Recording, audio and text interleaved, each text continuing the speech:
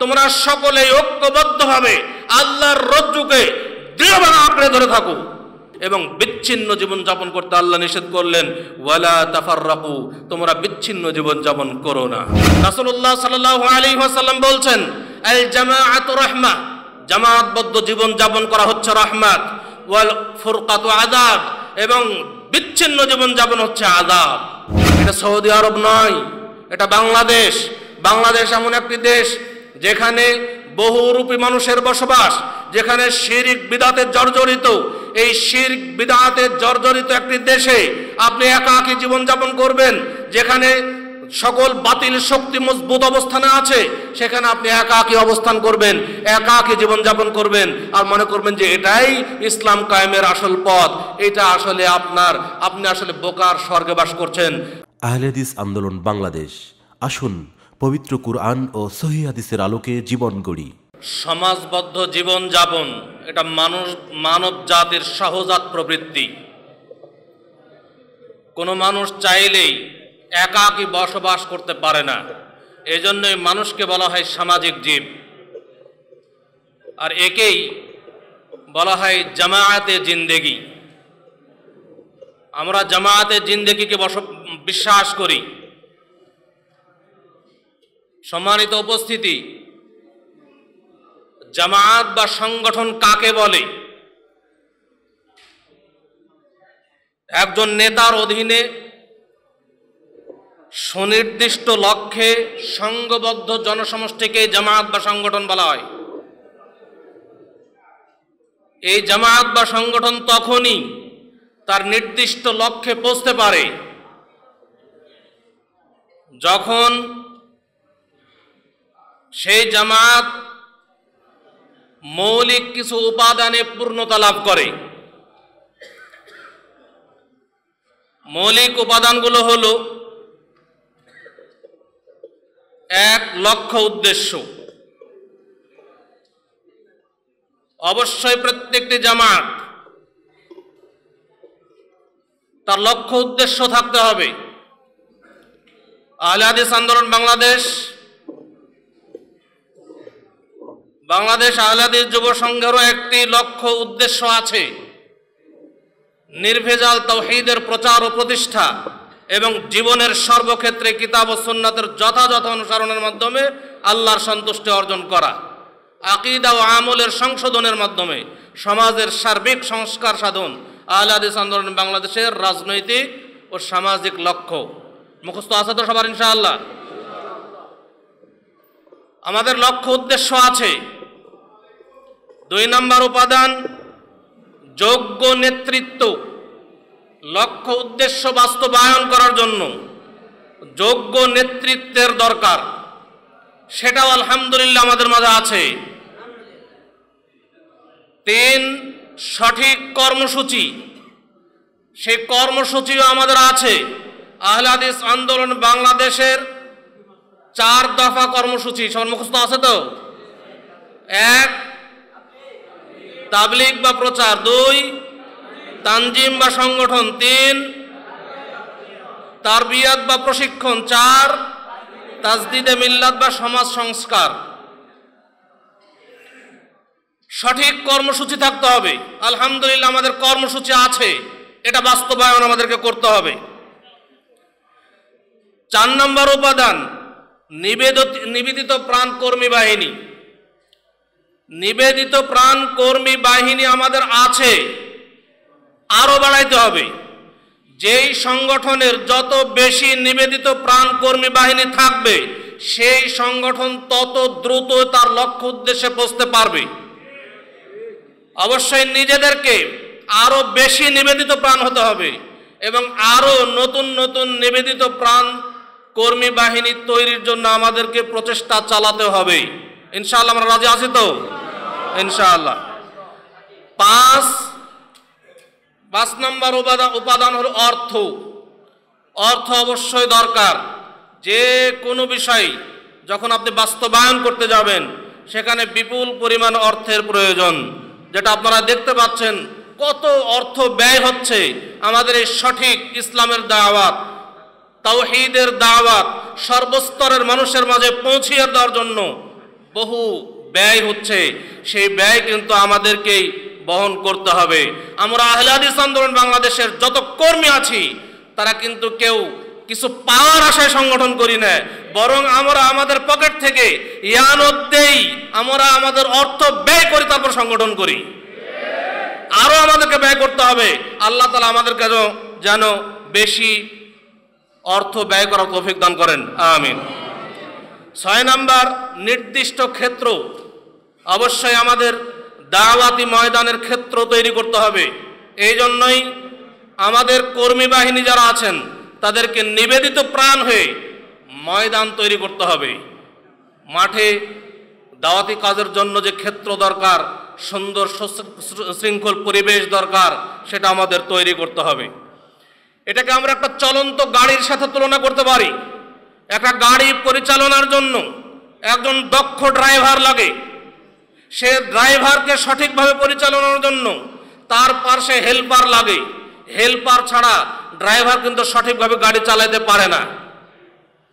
এবং সেই গাড়ির ইঞ্জিন ভালো হওয়া লাগে, সেই গাড়ির পেট্রোলের প্রয়োজন হয়, সেই গাড়ির চলাচলের জন্য সুন্দর রাস্তার দরকার হয়। অতএব আমাদের ড্রাইভার আছে। ড্রাইভার যদি গাড়ি পরিচালনা করতে যান, ড্রাইভারেরও কিছু নিয়মকানুন জানতে হয়। ড্রাইভার স্টিয়ারিং ধরা পদ্ধতি জানতে হবে। সময়ে তাকে ব্রেক করতে হবে। ব্রেক না করলে অ্যাক্সিডেন্ট হয়ে যাবে। সময় সময় তাকে হর্ন বাজাইতে হবে। যারা গাড়ি ড্রাইভিং করেন হর্ন দেওয়া হয় অনেক সময় ধমক দেওয়ার জন্য। অন্য কেউ ভুল করলে হর্ন দিয়ে ধমক দেওয়া হয়।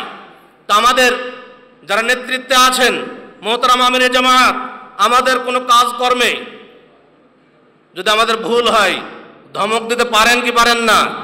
অবশ্যই তিনি ধমক দেওয়ার ক্ষমতা রাখেন। ধমক দিবেন তিনি, আমাদের কর্মী হিসেবে ধমক খাওয়ার জন্য প্রস্তুত থাকতে হবে। আমির জামাতের ধমক শুনে কেউ রাগ করবেন না, কেউ অসন্তুষ্ট হবেন না। যত ধমকই আমরা খাই না কেন, এটা আমাদের ভালোর জন্যই ধমক দেন। এটা প্রস্তুত আছে তো ইনশাআল্লাহ? সম্মানিত উপস্থিতি, প্রচলিত সমাজ, সমাজে কিছু নীতিবাক্য আমরা শুনে থাকি। যেমন দশে মিলে করি কাজ, হারি জিতি না হিলাস দশ জন মিলে যদি একটা কাজ করা হয়, তাহলে খুব সহজেই কিন্তু করা যায় এবং খুব নাশাতের সাথে করা যায়। যারা হজ্জে গিয়েছেন, তারা দেখেছেন, যখন আরাফার ময়দান থেকে মুজদালিফার উদ্দেশ্যে রওনা হওয়া হয়, কত দূরের পথ, লম্বা পথ। যদি কেউ একাকি আরাফার ময়দান থেকে মুজদালিফায় আসতো, তাহলে বুঝতে পারতো যে কষ্ট কতটুকু। কিন্তু লক্ষ লক্ষ মানুষ একসাথে কাতার কাতারবদ্ধ হয়ে হেঁটে আর মুজদালিফায় চলে আসছে যখন, তখন কারও কিছুই মনে হয় না। মনে বলে যে একবার নিকটের পথ, সুন্দরভাবে আমরা পৌঁছে যাই। এই জন্য জন মিলে যে কাজ করা হয়, অনেক মানুষ মিলে যখন একটা কাজ করা হয়, সেটা অত্যন্ত সফলতার সাথেই বাস্তবায়ন হয়। এই জন্য এই কথাটার খুব বাস্তবতা রয়েছে। আমরা সবাই মিলে ঐক্যবদ্ধভাবে যদি বাতিলের মোকাবেলা করতে যাই, অবশ্যই বাতিল দূরীভূত হবে। হক আসবে, হকের বিজয় হবে, বাতিল দূরীভূত হবেই হবে ইনশা আল্লাহ দশের লাঠি একের বোঝা, এই বাক্যটা আমাদের সমাজে প্রচলিত আছে। দশজনের লাঠি একজনের জন্য বোঝা হয়। সেই এক দশটা লাঠি যদি একটা, একজন কাউকে দেওয়া হয় ভাঙ্গার জন্য, সে ভাঙতে পারে না। কিন্তু ওই লাঠি যদি পর পর মানে দশ জনে ভাগ করে নেয় দশজনের হাতে দশটা লাঠি দেওয়া হয়, সহজেই কিন্তু ভেঙে ফেলে। আজকে বর্তমান সমাজ, ফেতনার যে স্রোত চলছে, ফেতনার যে ফেতনা এমনভাবে মজবুতি ধারণ করেছে, শক্ত অবস্থানে আছে বর্তমানে ফেতনা। বাতিল এই বাতিলের যদি মোকাবেলা করতে হয়, অবশ্যই আমাদেরকে ঐক্যবদ্ধ জীবনযাপন করতে হবে, সাংগঠনিক জীবনযাপন করতে হবে। সাংগঠনিক জীবনযাপন করলেই এই মজবুত বাতিল শক্তি অবশ্যই প্রতিহত হবে, অবশ্যই ভেঙ্গে চোর মার হয়ে যাবে ইনশাআল্লাহ। অবশ্যই এই জন্য সংগঠনের গুরুত্ব অপরিসীম জামাতবদ্ধ জীবনযাপনের গুরুত্ব অপরিসীম, বর্তমান ফেতনার জামানায়। সম্মানিত উপস্থিতি, বিন্দু বিন্দু বাড়ির সমষ্টি হলো সিন্ধু বা সমুদ্র। এক ফোঁটা, দুই ফোঁটা পানি জমা হতে হতেই কিন্তু নদীর সৃষ্টি হয়, সমুদ্রের সৃষ্টি হয়। আজকে যদি চলন বিলে যান, দেখবেন যে পানি আর পানি, অথচ কিছুদিন আগে কোনো পানি ছিল না। এই যে বৃষ্টির পানি একটু একটু করে জমা হতে হতেই, সেখানে সমুদ্রের মনে বলে যে এটা একটা বিরাট সমুদ্র, সমুদ্রের সৃষ্টি হয়ে গেছে। আজকে আলহামদুলিল্লাহ, এটা সংগঠনের বরকত। আজকে দেখেন বিভিন্ন জেলায় থেকে, একা একটা জেলায় থেকে হয়তো বা দশজন, পনেরো জন, বিশ জন মানুষ এসেছি আমরা। এসে কিন্তু আমরা এতগুলো মানুষ এক জায়গায় জমা হয়েছি। আমরা আমাদের বার্ষিক তাবলিগ ইজতেমায় দেখি, লক্ষ লক্ষ মানুষের উপস্থিতি দেখলেই মনটা ভরে যায়। এটা কিসের বরকত? এটা সংগঠনের বরকত? আমি যদি সংগঠন না করতাম জামাতবদ্ধ জীবনযাপন না করতাম, তাহলে আমি শরীফুল ইসলাম মাদানি যতই দাওয়াত দিই না কেন, সেখানে দশজন মানুষ উপস্থিত হতো না। অতএব অবশ্যই সংগঠনের গুরুত্ব রয়েছে। মানুষের সর্বস্তরের মানুষের কাছে তাওহীদের দাওয়াত ছড়িয়ে দেওয়ার জন্য সংগঠনের বিকল্প নেই, জামায়াতবদ্ধ জীবনযাপনের কোনো বিকল্প নেই। সম্মানিত উপস্থিতি, কেউ নিজেকে ছোট ভাববেন না। কেউ নিজেকে ছোট ভাববেন না। ক্ষুদ্রাতি ক্ষুদ্র, অণু, পরমাণুর সুনিয়ন্ত্রিত সম্মেলনেই তৈরি হচ্ছে বিশাল ক্ষমতা সম্পন্ন আণবিক বোমা। যে আণবিক বোমার শক্তির কাছে পৃথিবীর সকল শক্তি মাথা নত করছে। এইটা থেকে একটা বিষয় স্পষ্ট হয় যে উপাদান যত ক্ষুদ্রই হোক না কেন, সেই উপাদান যদি একত্রে জমা হয়, তার সুনি- সুনিয়ন্ত্রিত পরিচালনা থাকে তাকে ঐক্যবদ্ধ করা হয়। সেখান থেকে এত শক্তি, এত মজবুত শক্তির সৃষ্টি হয়, যা অপ্রতিরোধ, তাকে প্রতিরোধ করার ক্ষমতা কারও থাকে না। এই জন্য অবশ্যই আমরা যারা কর্মী বাহিনী আছি কখনো নিজেদেরকে ছোট ভাববেন না। ছোট ভাবার সময় আমাদের নেই। অবশ্যই আমাদের নিজের অবস্থান থেকে মজবুত অবস্থানে থাকতে হবে এবং দাওয়াত ময়দানে সকলেই নিজ নিজ তরফ থেকে যার যতটুকু সাধ্য আছে, অবশ্যই সাধ্যানুযায়ী প্রচেষ্টা চালাইতে হবে সর্বস্তরের মানুষের কাছে দাওয়াত পৌঁছিয়ে দেওয়ার জন্য। আজকে দেখুন, বিভিন্ন জায়গায় যখন কোনো খড় পড়ে থাকে, সে খড়গুলো একটু বাতাসেই এদিক সেদিকে উড়িয়ে নিয়ে চলে যায়। কখনো সেই খড়টি টয়লেটে পড়ে, পায়খানায় পড়ে, ড্রেনে পড়ে, কিন্তু ওই খড়ে যদি একটা স্তূপ আকারে থাকতো, তাহলে কিন্তু সহজ কোনো বাতাসে সেটা উড়ে যেখান সেখানে পড়তো না। আমরা যদি জামাতবদ্ধ জীবনযাপন ছেড়ে দিয়ে একাকী জীবন যাপন করি, তাহলে বাতিল আমাদেরকে উড়িয়ে ভাসিয়ে নিয়ে চলে যাবে। আমরা কিন্তু বাতিলের মোকাবেলা করতে পারব না। আমরা যদি এই সাধারণ মানুষই ঐক্যবদ্ধ জীবনযাপন করি তাহলে কিন্তু আমাদের দ্বারাই সম্ভব সমাজে হক প্রতিষ্ঠা করা। আমাদের যে শক্তি তৈরি হবে, এই শক্তির কাছে বাতিল পরাজিত হবেই, হবে ইনশা আল্লাহ আর এই জন্যই সমাজবদ্ধ জীবনযাপন, সংঘবদ্ধ জীবনযাপন জামাতবদ্ধ জীবনযাপনের জন্য আল্লাহ তালা অনেক উৎসাহ দিয়েছেন। রাসুল্লাহ সাল্লাহ আলী সাল্লাম উৎসাহ দিয়েছেন। মহান আল্লাহ তালা বলছেন, ওয়া ওয়াতাসিমু বিহাবিলিল্লাহি জামিআন ওয়ালা তাফাররাকু। তোমরা আল্লাহর রজ্জুকে দৃঢ়ভাবে আঁকড়ে ধরো এবং তোমরা পরস্পরে বিচ্ছিন্ন হয়েও না।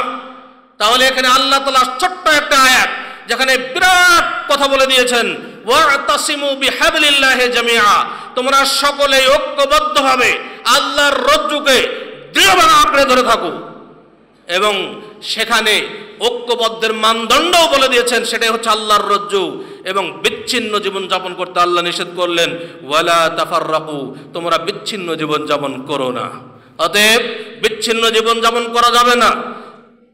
আব্দুল্লাহ ইবনে ওমর রাদিয়াল্লাহু তাআলা আনহু বলছেন, ইয়া আইয়ুহান নাস হে মানব জাতি আলাইকুম বিল জামাআ, তোমাদের উপরে জামাতবদ্ধ জীবন যাপন করা ওয়াজিব। ওয়াইয়াকুম ওয়াল ফুরকা, এবং তোমাদের বিচ্ছিন্ন জীবন যাপন থেকে তোমরা সাবধান, সতর্ক থেকো। বিচ্ছিন্ন জীবন যাপন করো না, ঐক্যবদ্ধ জীবন যাপন করো জামাতবদ্ধ জীবন যাপন তোমাদের জন্য ওয়াজিব। তারপরে বলছেন ওয়াহিদ, কারণ শয়তান একজনের সাথে থাকে ওয়াহুয়া মিনাল ইসনাইনে আবাদ, সে দুইজন থেকে দূরে থাকে। অর্থাৎ একজনের সাথে শয়তান থাকে যদি দুইজন হয়, সেখান থেকে শয়তান দূরে যায়। আরও যদি বেশি মানুষ হয়, তাহলে শয়তান আরও দূরে যায়। শয়তান আমাদের যদি জামাতবদ্ধ জীবন যাপন করি, শয়তান আমাদের কাছে আশ্রয় পাবে না। শয়তান আমাদের কোনো ক্ষতি করতে পারবে না, ইনশাআল্লাহ। কিন্তু যদি একাকী থাকি, তাহলে শয়তান আমাদেরকে জাহান্নামের পথে টেনে নিয়ে যাবে। তারপরে তিনি বলছেন, মান আরাদা বুহবুহাতাল জান্নাহ। যে ব্যক্তি জান্নাতের মধ্যস্থলে থাকতে চায় ফালিয়ালজামিল জামাআ, সে যেন জামাআতবদ্ধ জীবন যাপন করে। অতএব আমরা সবাইকে জান্নাতের মধ্যবর্তী স্থানে থাকতে চাই কি চাই না? জান্নাতের উচ্চ মাকামে থাকতে চাই কি চাই না? অতএব অবশ্যই আমাদেরকে জামাতবদ্ধ জীবন যাপন করতে হবে। এর বিকল্প নেই। আজকে বর্তমান সমাজে জামাতবদ্ধ জীবন যাপনের বিরুদ্ধে যারা বলছেন, তাদের আসলেই হুঁশিয়ার হওয়া দরকার। এটা বিরোধিতা করে কোরআন এবং সুয়াদিসের বিরোধিতা করা হচ্ছে এবং ঐক্যবদ্ধ মুসলিম সমাজকে বিভক্ত করার চেষ্টা করা হচ্ছে। রাসূলুল্লাহ সাল্লাল্লাহু আলাইহি ওয়াসাল্লাম বলছেন, আল জামাতবদ্ধ জীবন যাপন করা হচ্ছে রহমাত। ওয়াল ফুরকাতু আযাব। এবং বিচ্ছিন্ন জীবন যাপন হচ্ছে আযাব। অতএব আমরা রহমতের মধ্যে থাকব না আযাবের মধ্যে থাকব? আমাদেরকে রহমতের মধ্যে থাকতে হবে। জামাতবদ্ধ জীবন যাপন আমাদেরকে করতেই হবে। জামাতবদ্ধ জীবন যাপন করব কিসের উপরে?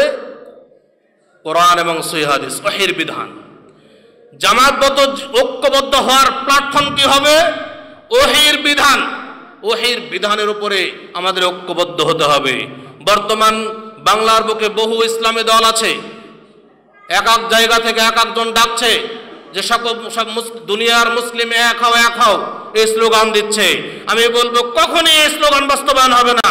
যতক্ষণ পর্যন্ত এক হওয়ার প্ল্যাটফর্ম নির্ধারণ না হবে। আজকে যদি স্লোগান দেওয়া হতো যে এক জায়গায় আমাদের কর্মী বাহিনী এক হও, যদি আমরা আল মার্কাজুল ইসলামিয়া সালাফি নওদাবাড়া রাজশাহী এই স্থান নির্ধারণ না করতাম, তাহলে কিন্তু আমরা এতগুলো মানুষ এক জায়গায় জমা হতে পারতাম না। অতএব আগে স্থান নির্ধারণ করতে হবে, কোন জায়গায় এক হব? আমরা কিসের উপরে এক হব? এক হতে হবে আমাদের আমাদেরকে ওহির বিধান যেটা আল্লাহ রসুল সাল্লাহ আলী ওয়াসাল্লামের উপর নাজিল হয়েছে, সেই ওহির বিধান আমাদের তার উপরে এক হতে হবে। এই জন্যই আহলে হাদিস আন্দোলন বাংলাদেশ বাংলাদেশ আহলে হাদিস যুব সংঘ, এর মূল স্লোগানই হচ্ছে, সকল বিধান বাতিল করো, ওহির বিধান কায়েম করো। এটাই একটা বুলেটের মতো চলে যাচ্ছে যে মানব রচিত যত বিধান আছে বাংলার বুকে, সব ছেড়ে দিয়ে একমাত্র ওহির বিধানের উপরে ঐক্যবদ্ধ হও। এটাই আমাদের স্লোগান। অবশ্যই এই স্লোগানের যারা বিরোধিতা করবে, তারা কোরআন এবং সন্ন্যারে বিরোধিতা করবে। সম্মানিত উপস্থিতি রসুল্লাহ সাল্লাল্লাহু আলাইহি ওয়াসাল্লাম আরও বলছেন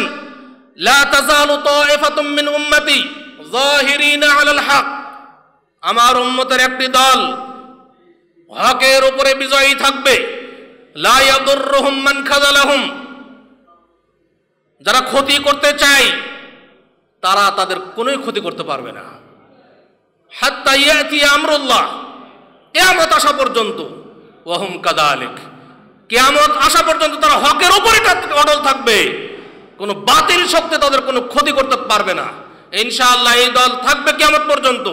আহলে আন্দোলন বাংলাদেশ বাংলাদেশ আহলে হাদিস যুব সংঘ, ইনশাআল্লাহ কিয়ামত পর্যন্ত টিকে থাকবে। বাতিল শক্তি কোনো ক্ষতি করতে পারবে না। যদি আমরা আমাদের ইখলাসকে ঠিক রাখতে পারি, যদি আমাদের আমরা আমরা আমাদের তাকুয়াকে ঠিক রাখতে পারি, আমাদের লক্ষ্য উদ্দেশ্য স্থির করতে পারি, একমাত্র আল্লাহর সন্তুষ্টির জন্য যদি সংগঠন করতে পারি, অবশ্যই কোনো বাতিল শক্তি আমাদের কোনো ক্ষতি করতে পারবে না। রাজি আছি তো ইনশাআল্লাহ? সকলে আমাদের ইখলাসকে ঠিক রাখি। সম্মানিত উপস্থিতি, বর্তমান বিশ্ব, সাংগঠনিক বিশ্ব, বর্তমান বিশ্বে বাতিল শক্তি, তারা তাদের সর্বস্ব শক্তি ব্যয় করে সংঘবদ্ধভাবে মুসলিমদের বিরুদ্ধে মাঠে নেমেছে।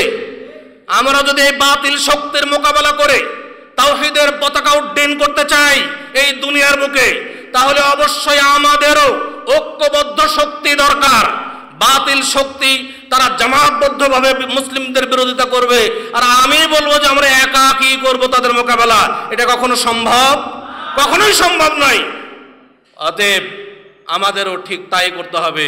এখন যদি আমাদের উপর কামান নিক্ষেপ করে প্লেন থেকে রকেট ছুড়ে, বিভিন্ন জায়গা থেকে রকেট ছুড়ে আমাদের উপর, আর আমরা বলব যে আমরা আগে তরবারি নিয়ে যুদ্ধ করব, হবে? অবশ্যই হবে না। আমাদেরকেও ঠিক সে মোকাবেলার জন্য প্রস্তুত থাকতে হবে, সেই শক্তি অর্জন করতে হবে। আহলাদিস আন্দোলন বাংলাদেশ বাংলাদেশ আহলাদিস যুব সংঘ, কোনো ফেরকা নয়। অবশ্যই একটা দাওয়াতিকতার শক্তি। এই শক্তি অর্জনের জন্য আমাদের সংগঠন অন্য কিছু আমাদের মধ্যে নেই। অবশ্যই একটা বিরাট শক্তি আমাদের একটা মেসেজ এক মিনিটের মধ্যে আমরা সর্বস্তর মানুষের কাছে পৌঁছে দিতে পারি সারা বাংলাদেশে। এটা কেন পারি? আমাদের একটা শক্তি আছে, যত কর্মী বাহিনী আছে, এটা একটা বিরাট শক্তি।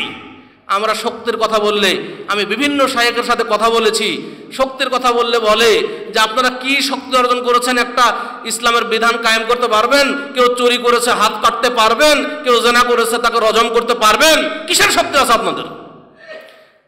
আমার দুঃখ লাগে এই সমস্ত ওলামা গ্রামের দেখে লক্ষ্য করলে যে তারা শক্তিটাই বুঝলো না।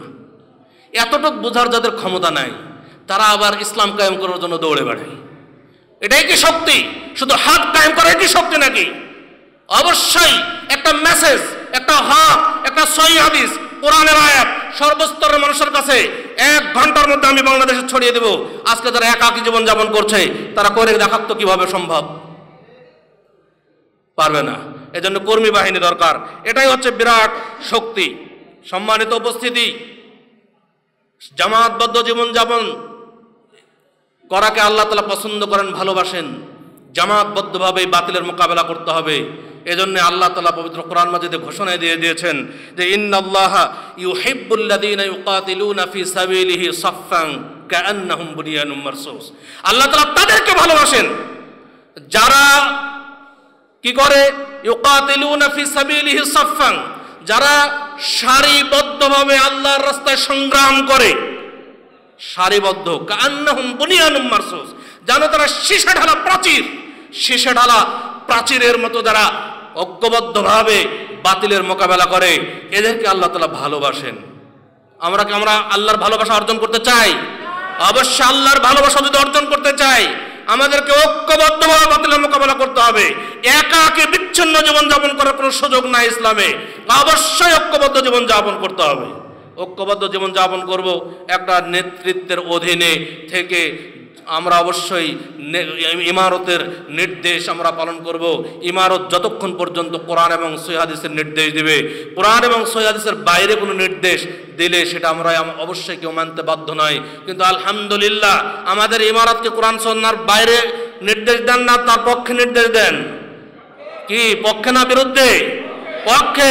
যদি কেউ কোনো প্রমাণ করতে পারে যে আহলাদিস আন্দোলন বাংলাদেশ ইসলাম থেকে দূরে সরে গেছে, ইসলামের বিরুদ্ধে কথা বলছে। যদি প্রমাণ কেউ করতে পারে, তাহলে আমরাও অবশ্যই আমাদের অবস্থান ত্যাগ করব ইনশাআল্লাহ। রাজি আছি তো? সম্মানিত উপস্থিতি। আজকে মুসলিম বিশ্বের ইতিহাস, সাংগঠনিক ইতিহাস, আমাদের বাংলাদেশের দিকে যদি লক্ষ্য করি আমরা, বাংলাদেশের স্বাধীনতা উনিশশো একাত্তর সালের স্বাধীনতা, যদি বাংলাদেশের মানুষ, বঙ্গবন্ধু শেখ মুজিবুর রহমানের নেতৃত্বে সেদিন জিহাদের যুদ্ধে ঝাঁপিয়ে না পড়তো। বাংলাদেশ স্বাধীন হওয়া সম্ভব ছিল? কখনোই সম্ভব ছিল না। অতএব বাংলাদেশের স্বাধীনতার ইতিহাস, ঐক্যবদ্ধ জীবনযাপনের ইতিহাস, যদি সেই দিন একদল কর্মী বাহিনী সংঘবদ্ধভাবে যুদ্ধে না নামতো, বাংলাদেশের স্বাধীনতা হাসিল হতো না। আমরা যদি লক্ষ্য করি আফগানিস্তানের দিকে লক্ষ্য করি। আফগানিস্তানের তালেবানরা ইসলামিক খেলাফত কায়েম করল। তারা দীর্ঘ বিশ বছর যাবৎ, দীর্ঘ বিশ বছর যাবৎ নির্যাতনের শিকার হয়ে তারা অবশেষে আবারও ক্ষমতায় আসলো। এটা কিসের বদৌলতে আসলো? অবশ্যই তাদের একটা সুনির্দিষ্ট নেতৃত্ব ছিল এবং তাদের নেতৃত্বে একবারে একনিষ্ঠ কিছু আনুগত্যশীল কর্মী বাহিনী ছিল। তাদের ঐকান্তিক প্রচেষ্টা এটা সম্ভব হয়েছে। তাছাড়া কখনো সম্ভব হতো না। তালেবানদের সাথে আকিদাগত পার্থক্য আমাদের থাকতে পারে। আমলগত পার্থক্য আমাদের আছে, কিন্তু আমি ওইদিকে যাচ্ছি না। আমার কথা হলো, ঐক্যবদ্ধ জীবন যাপন ছাড়া তাদের এই সফলতা আশা আসার কোনো সুযোগ ছিল না। অতএব আমরা যদি এই বাংলার বুকে, আমরাও যদি এই বাংলার বুকে তাওহীদের পতাকা উড্ডীন করতে চাই, অবশ্যই আমাদের ঐক্যবদ্ধ প্ল্যাটফর্ম দরকার।